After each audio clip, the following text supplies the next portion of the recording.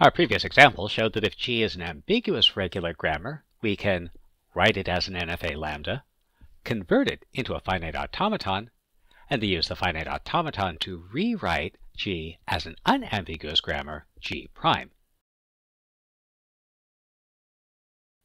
This worked because the rules of a regular grammar could be converted into the transition rule delta for an NFA lambda. But what if we don't have a regular grammar? To convert an ambiguous grammar that isn't regular into an unambiguous grammar is a research project. In other words, the only way we can solve this is through insight and creativity, and those can't be taught, those can only be learned. For example, suppose we have a grammar with these terminals and this production rule, and let's see if we can rewrite it as a non-ambiguous grammar. This grammar is ambiguous because there are two ways we might derive an expression like a minus a minus a. For example, s might produce s minus s, and this first s can be replaced with an a, and the second can be replaced with s minus s. And so if we evaluate, we'll replace all our terminals. We'll evaluate a minus a, that's going to be 0, and then s, our original start symbol, will be a. But there's another possible leftmost derivation.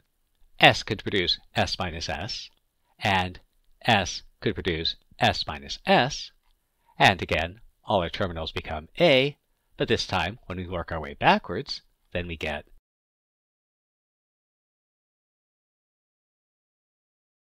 negative A for S. And so we can express these two derivations as A minus parentheses A minus A, which gives us A, and A minus A minus A equals minus A. Now, for our original expression, the second derivation is the correct one based on the standard rules of arithmetic. So let's see if we can rewrite our grammar so that only the second derivation is possible. Again, this takes creativity and insight, and no one can teach you those things. But there are some strategies that will make it easier to be creative and insightful, and one thing we could do is to ask how it happened. So how is it that we were able to get two different derivations? We obtained two different leftmost derivations because the rule s produces s minus s allowed for any grouping of the symbols. But notice in the grouping that gave us the correct derivation, the first step s produces s minus s made the second s a terminal symbol. Now, since our original production rule s produces s minus s does not distinguish between the two terms, we'll introduce a new non-terminal t and rewrite our rule as s produces s minus t. And since t has to be a single symbol, then we also need the rule t produces a.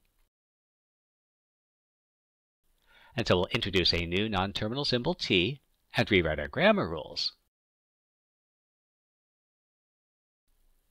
It might not be obvious why this avoids ambiguity. If the problem in S produces S minus S is that we could use any grouping for S, why has S produces S minus T avoided this? For that, it's helpful to remember an algorithm has decisions, but no choices. Suppose in A minus A minus A we tried to split this as S minus T. The next step in our derivation tree would be S produces A But the only possible next step after that would be t produces a, which won't give us the expression we want.